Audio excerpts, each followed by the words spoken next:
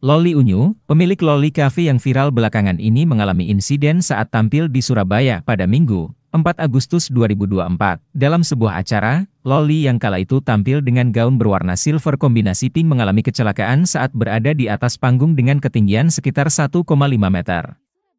Kejadian tersebut bermula ketika artis asal Banten itu sedang berinteraksi dengan penonton.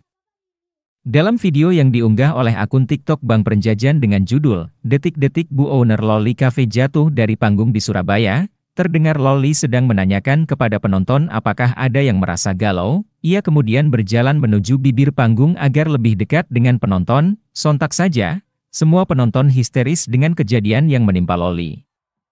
Para panitia pun dengan sigap menolong pemain sinetron Om Jin Jun itu, meski insiden ini mengejutkan, beruntungnya Loli tidak mengalami cedera serius dan langsung mendapat perawatan medis. Kejadian tersebut menjadi pembicaraan hangat di media sosial.